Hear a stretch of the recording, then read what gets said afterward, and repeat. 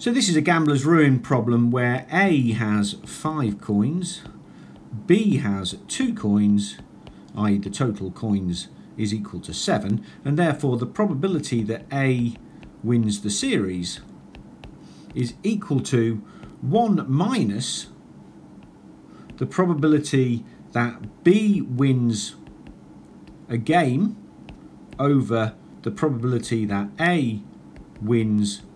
a game to the power of 5 over 1 minus the probability that B wins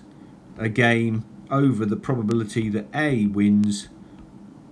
a game to the power of 7 sticking all this in that gives us 1 minus 0.45 over 0.55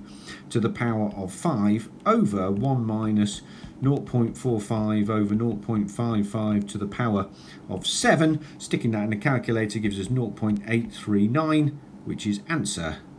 E